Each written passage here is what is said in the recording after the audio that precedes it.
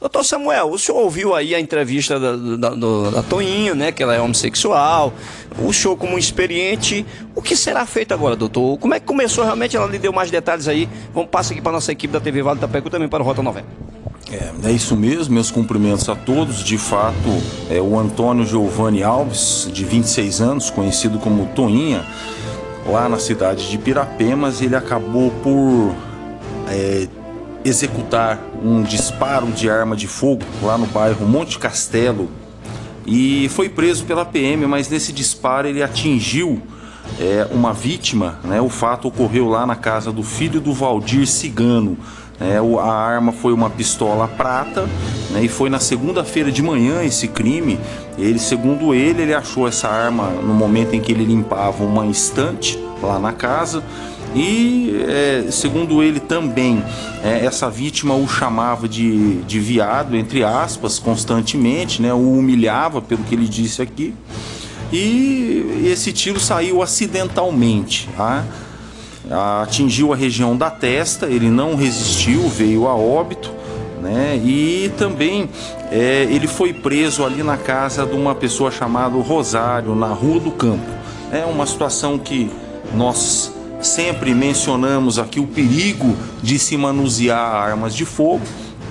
Pelo que ele disse, ele quis só dar um susto na vítima. Essa arma acabou disparando e atingindo a região então da cabeça. Né? uma situação que é, dificilmente uma pessoa escapa com um tiro na cabeça ou na região da testa, na nuca. Né? Nesse caso foi um tiro na testa. Né? Ele diz que foi acidental, como nós não temos testemunhas presenciais né? Então, nós pegamos os depoimentos dos envolvidos, dos policiais militares que efetuaram a prisão. O flagrante foi feito aqui na delegacia regional.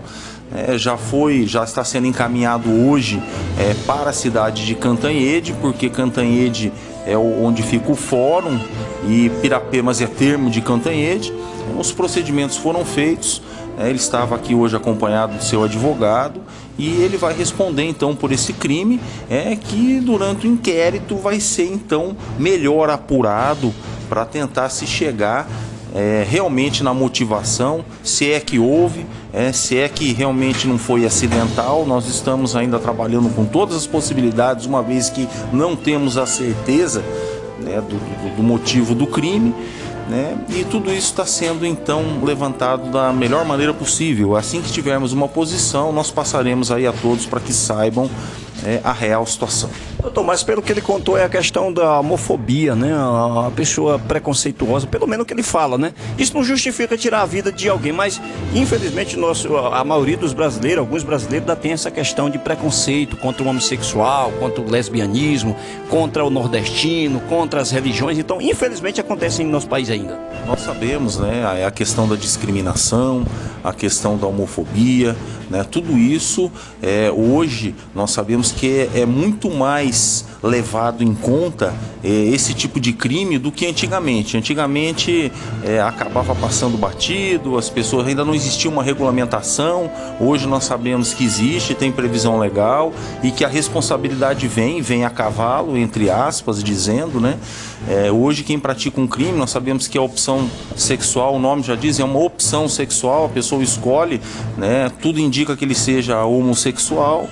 Né? Então, aqueles que praticarem crimes contra os hipossuficientes, contra os vulneráveis, que no caso seria aí o, o, o grupo né, de, de, homossexuais, né, gays, lésbicas, enfim, é, será responsabilidade pela nossa polícia e pela nossa justiça, tendo em vista que todos são iguais perante a lei e devem ser respeitados dentro é, daquilo que escolhem, uma vez que, a, nesse caso, a opção sexual é, é, como o nome já diz, é uma escolha que a pessoa faz da sua sexualidade e precisa ser respeitado pela nossa comunidade.